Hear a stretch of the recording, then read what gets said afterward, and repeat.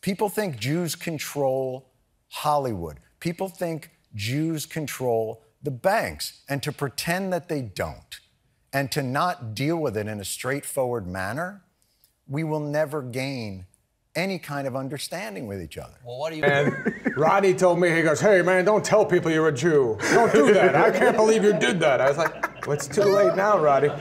But as the early 20th century, Jews were barred from most industries, so they created a new one, Hollywood. Nearly every major studio was founded by first-generation Jewish immigrants. They were working-class people, mostly from vaudeville and the garment industry, who saw an opportunity in cinema, which lacked the anti-Semitism of more established industries. Carl Laemmle marketed clothing before starting Universal. Adolph Zukor sold furs before starting Paramount. Shmuel Gelbfish quit selling gloves, changed his name to Samuel Goldwyn, and partnered with Louis B. Mayer and Marcus Loew to form MGM. The Wonsal brothers entertained at fairs with a film projector before changing their name and starting Warner Brothers. In the 1930s, thousands of Jewish directors, writers, actors, and composers in Europe fled Nazism, including Billy Wilder, Otto Preminger, Fred Zinnemann, and Hedy Lamarr, who became icons of Hollywood's golden age. Betty Perske became Lauren Bacall. Bernard Schwartz became Tony Curtis. Issur Danielovitch became Kirk Douglas, Melvin Kaminsky became Mel Brooks, Jerome Silberman became Gene Wilder. The outsider perspective and the desire to assimilate gave Jews a unique understanding of mass American tastes. Through their storytelling, they built a new American art form from the ground up that came to define pop culture. Though Jews pioneered Hollywood, its diversity has expanded greatly in the centuries since, and like other fields where Jews are disproportionately represented, Jews don't control Hollywood. They're simply good at making movies.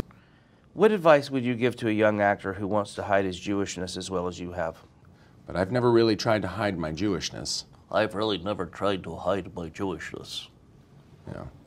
Jesus was Jewish and he didn't hide it. No, he, he put it out there for everybody to see. He's one of our best. You, you practicing? No, I'm not a practicing Jew. I perfected it.